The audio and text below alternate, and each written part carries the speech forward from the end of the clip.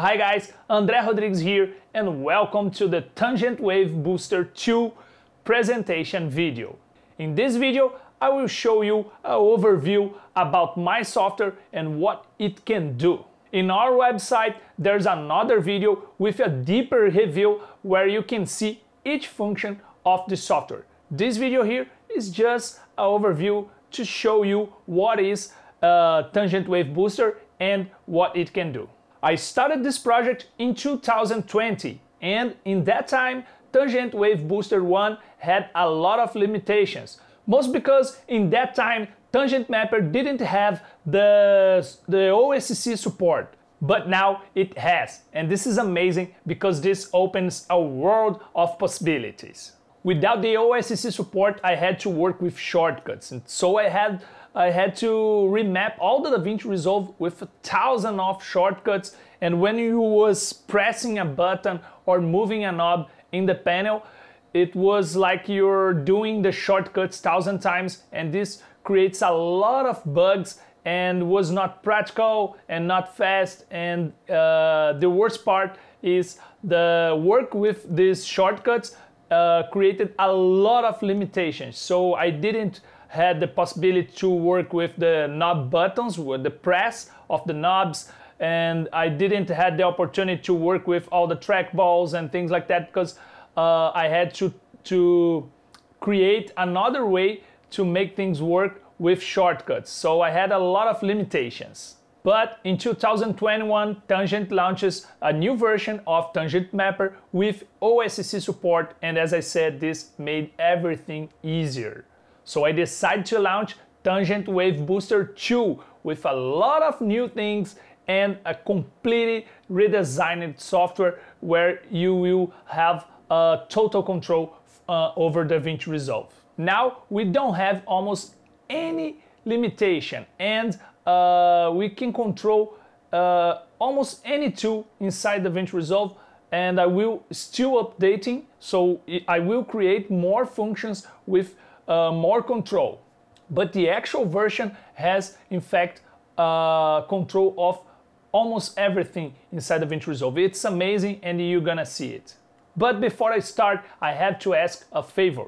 If you like this project, please make a donation.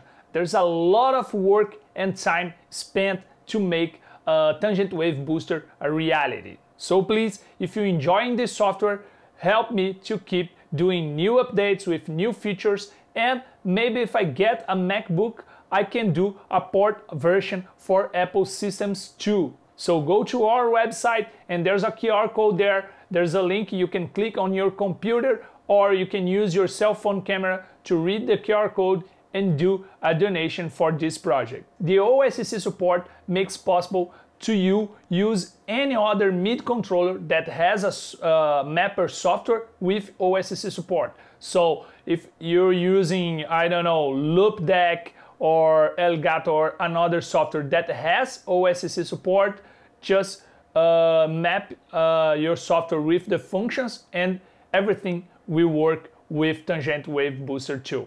In our website, there's a video where I teach you how to map and how to use the functions. And there's a documentation with all the functions. There are a thousand functions and then you just choose what you want and copy and paste to your map software and use with your MIDI controller. You don't need to have a tangent panel. Of course, with tangent panel will be easier because tangent wave booster already comes with the, the mapping so you just uh, select the map and everything will work fine if you're using a tangent panel. But as I said, it, it's not a limitation. You can use with any MIDI controller since this MIDI controller has a, a mapper software with OSC support. It's important to say that the name of my software is Tangent Wave Booster, but uh, you're not limited to use with just Tangent Wave. You can use with any tangent panel and even with Elements VS in your tablet. Uh, and as I said, you can use with other MIDI controllers uh, as long they have the, the, the map software with uh, OSC support. Another thing that I have to say it's you're not limited to use Tangent Wave Booster with DaVinci Resolve. It was made for DaVinci Resolve, but if you learn just a little about uh, AutoHotkey, the HAK language, you can get my code. It's an open source code, so you can get it and edit to be used with another software. So you just change the functions and the positions of what you want, and you can use it with another software. In fact, it's even possible to use with another software without code. Uh, you have just to create some correlations between the buttons from, from DaVinci Resolve interface with the buttons of the software that you will use. But uh, maybe this can be a little confused, but uh, it's possible to use even without code. Uh, it's better if you know how to code because you can create your own code to control everything you want. That's it. Let's stop talk about this and see what Tangent Wave Booster 2 can do for you. Okay, as I said, this video is just an overview. I'm gonna show just some features and what is Tangent Wave Booster, what it can do. If you want to learn about each of these functions, you have to watch our long video, our long presentation where I show you each one, each function that Tangent Wave Booster has. So Talking about Tangent Wave Booster 2, we did a lot of uh, improvements. Uh, the oldest version had thousands of limitations, was really really bad, based in, in, in uh, shortcuts, and was crazy bad. This new version is everything automatic and it has thousands of new things thanks to the OSC support that Tangent put on their tangent map software. So now with OSCC, we can do a lot of things more. Just trying to explain fast and easily what is OSC. It's a communication protocol that makes a tangent uh, wave mapper communicate with my software, with Tangent Wave Booster, or any other uh, mapper with OSC support will communicate with, with my, with my software. So it permits the communication between two softwares. And so my software has thousand of functions here. Uh, these functions has names, as you can see here, and uh, the tangent mapper is uh, configured to uh, shoot these functions. As you can see here, there is a name of a function for each button or knob or uh, the trackballs and everything. So it call this function on OSC and my software listen and execute something when it listen that uh, function. And this was uh, an exceptional improvement because in the past we had to use shortcuts and thousands of shortcuts and the repetition of the shortcuts creates a lot of bugs and thousands of limitations for my software. Now with this uh, we have a lot of more space and one of these improvements uh, was the auto change between the tools and this is amazing because uh, we can use the panel on a edit page and color page. Uh, so if I'm on a edit page and I'm using something here, let's say I'm playing and I want to go to color page, I just choose here what mode I want to work. So I press F9 and choose what mode I want to work and I made this to make things simple so and, and fast you can be, change between the tools very fast. You just press F9 and choose whatever you want to use. I want to use HDR wheels. That's it. I'm there and if I use any tool now it will auto change to color page and to HDR wheels so let's say I want to use the saturation on the second wheel on HDR wheels. I will turn this and as you can see my saturation there on shadow it's moving. So it automatically changed to color page and HDR panel and start to using that tool.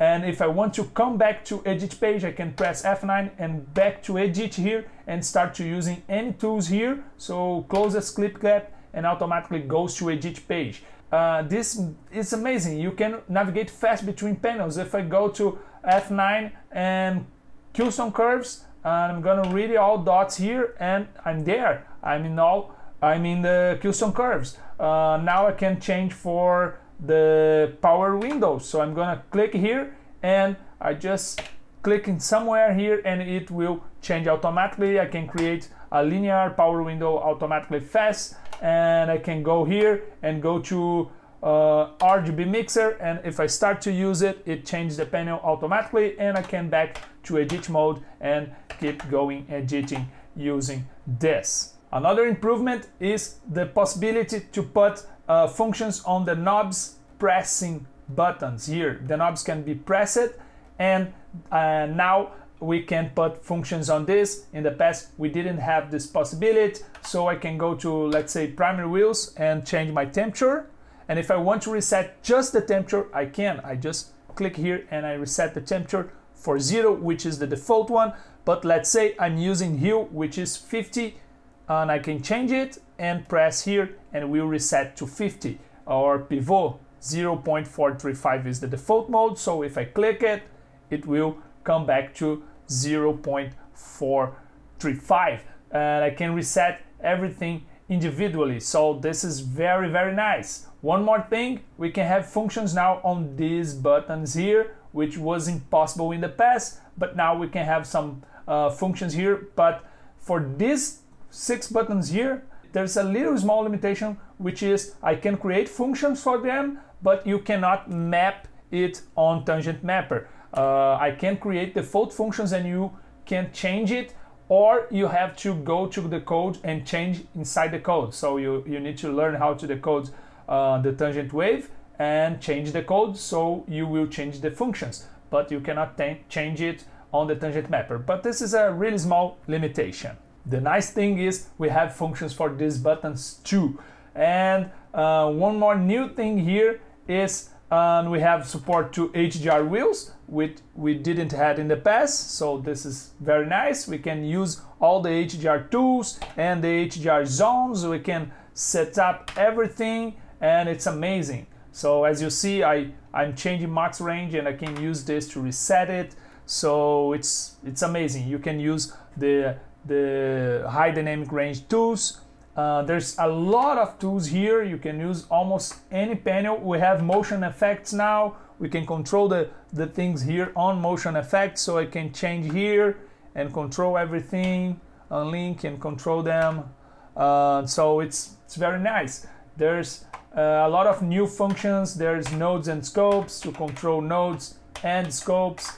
Uh, and you can control your thumbnail. You can change here between the clips and you can run the thumbnails but here we are we have just a little part of it. So let me go to edit page here and uh, maybe put a little more clips here. I say let me put this like this. Okay I'm gonna back to color page here. And uh, now I can run here as you can see fast between the clips and I can choose between the clips here uh, I can navigate it between the nodes, turning this not this jog wheel. Uh, there's a lot of functions, so it's very nice. There's functions on these buttons here too. And uh, the most nice thing about uh, the Tangent Wave Booster is you can use it for color grading, so you have a lot of different modes for color grading, but you can use it as a speed editor, which means I can use it for edit too and in fact has more functions than the speed editor. So I can go here and do a cut and then I can go here and delete it or maybe do a cut here and delete from to the end. Uh, I can select a clip, I can move the clip on the timeline as you can see frame by frame or I can select uh, a edit point and move the edit point to as you can see uh, I can zoom in and zoom out my timeline. I can navigate it on my timeline. Uh, there's thousands of functions in, out, uh, reset the in, out, just pressing the knob. I can put a mark and edit it. I can delete the mark if I want. So uh, I can uh, turn to the other side and delete the mark. I can select all the clips. Uh, let me do this. I can select all the clips, I can deselect all the clips, I can select forward or backward.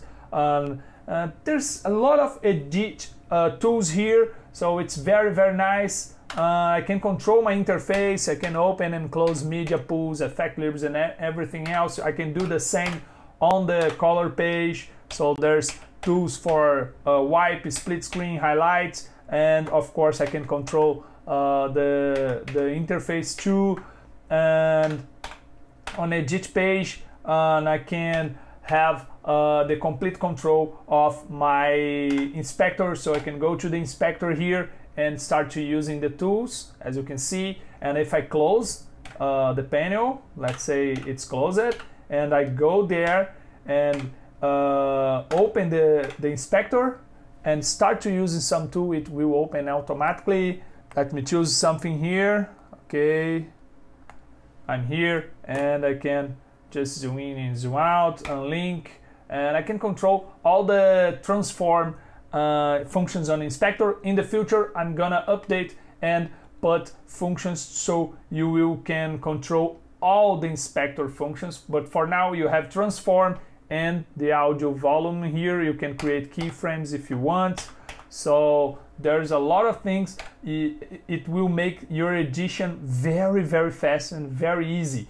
And I do works on this without touch, mouse and keyboard. I just use the controller for everything. When I need a mouse, I can press F8 and this transform in a mouse. So I have the, the mouse movement here. I have the scroll of the mouse here, as you can see.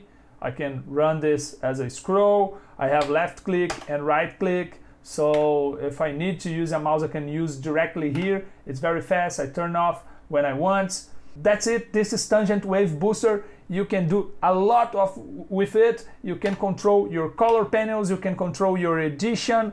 There's thousands of functions here. Uh, there's printer lights. There's there's almost any tool can be controlled with Tangent Wave Booster 2. As I said, this is just an overview. You can see another video in our website where you uh, gonna travel between all the functions. I will show you every function that Tangent Wave Booster has. So if you like this, uh, don't forget to make a donation for this project so I can keep going. So guys, that is Tangent Wave Booster 2. And if you want to have uh, a deeper insight about it, you can go to our website and watch all the videos and there you will find uh, deep videos uh, about uh, what each function can do and how to code, how to change my code and how to set up the software and how to change the resolution if you need it and everything else. I hope you liked TWB2